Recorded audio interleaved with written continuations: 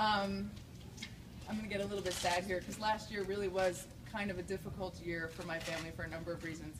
And I've said this over and over again, the support that we got from the entire baseball community was just absolutely amazing. I was out at the World Series shortly after the, the museum robbery, and I swear everyone I saw just had something amazing to say and something so supportive. It was really like we, we had gotten, and just a big collective hug from the entire baseball community. And I felt the same way after my grandfather, my grandmother passed away. And it was just such a, you know, wonderful feeling to realize that after so many decades of giving and giving to baseball, that baseball was still giving back to my grandfather.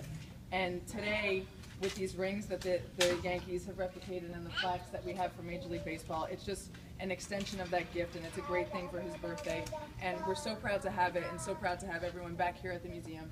He really does love this place. He talks about it all the time. He loves to be here and tell people his stories and show people his stuff. And he's going to be very excited to show you this other stuff that he's got now.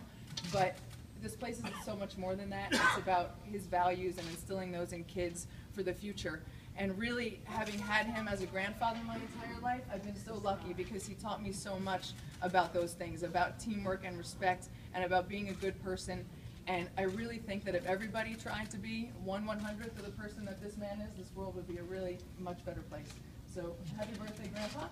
I love you very much.